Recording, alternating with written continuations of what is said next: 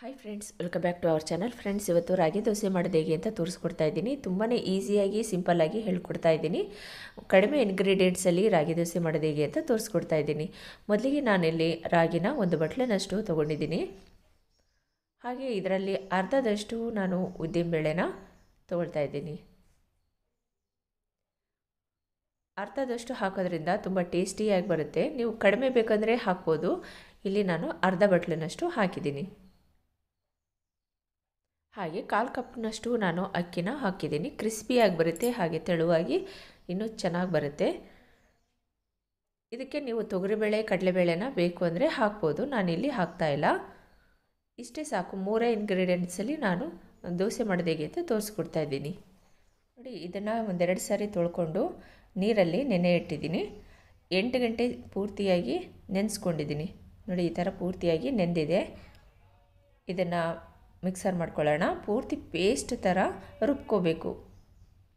ಎಷ್ಟು ಸಾಧ್ಯನೋ ಅಷ್ಟು ಪೇಸ್ಟ್ ಥರ ರುಬ್ಕೊಳ್ಳೋಣ. ರಾಗಿ ಬೇಗ ಮಿಕ್ಸರ್ ಆಗೋದಿಲ್ಲ. ಹಾಗಾಗಿ ಸ್ವಲ್ಪ ಪೂರ್ತಿಯಾಗಿ ಪೇಸ್ಟ್ ಥರ ರುಬ್ಕೋಬೇಕು. ನೋಡಿ, ಇದ ನಾನೀಗ ಆಲ್ರೆಡಿ ನಾನು ಪೇಸ್ಟ್ ಮಾಡ್ಕೊಂಡಿದ್ದೀನಿ. ಈ ಥರ ಇರಬೇಕು. ಇಷ್ಟು ಗಟ್ಟಿ ಇದ್ದರೆ ಸಾಕಾಗುತ್ತೆ.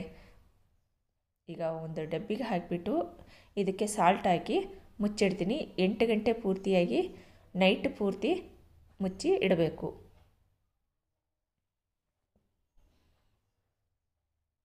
ನೋಡಿ, ಇದಕ್ಕೆ ಸಾಲ್ಟು ಮತ್ತು ಸೋಡಾ ಪುಡಿನ ಹಾಕ್ಕೊಳ್ತಾ ಇದ್ದೀನಿ. ನೀವು ನೈಟ್ ಬೇಕಂದರೆ ಹಾಕಿಡ್ಬೋದು salt.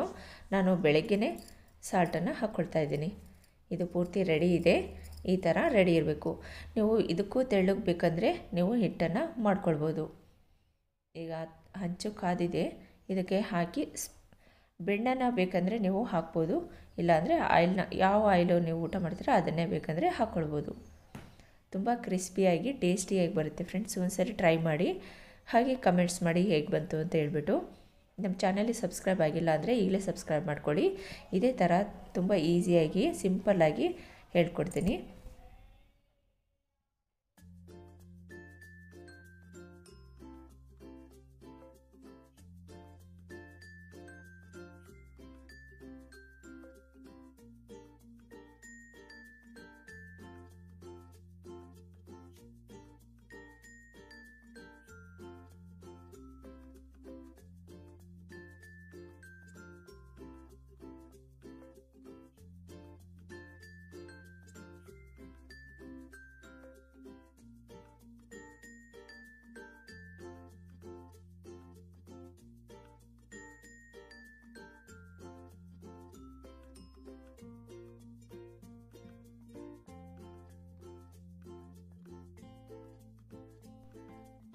Thank you for watching friends.